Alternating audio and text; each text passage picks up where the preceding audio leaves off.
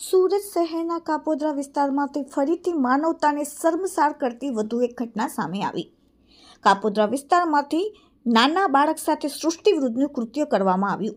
કાપોદ્રા ખાતે આવેલા મરઘા કેન્દ્ર પાસે રવિ પાર્ક સોસાયટીમાં રહેતા બાવીસ વર્ષીય નરાધમ પરેશ ચંદુ ગોહિલ દસ વર્ષના બાળક સાથે સૃષ્ટિ વિરુદ્ધનું કૃત્ય કર્યું. નરાધમ યુવકે ગતરોજ બપોરના ત્રણ વાગ્યાની આસપાસ પાંચ વર્ષના માસૂમ બાળકને દસ રૂપિયા આપી લાલચ આપી અપહરણ કર્યું. બાદમાં કાપોદ્રાના સમજુબા કોમ્પ્લેક્સની દિવાલ પાસે લઈ જઈ તેની સાથે સૃષ્ટિવૃદ્ધનું કૃત્ય કર્યું.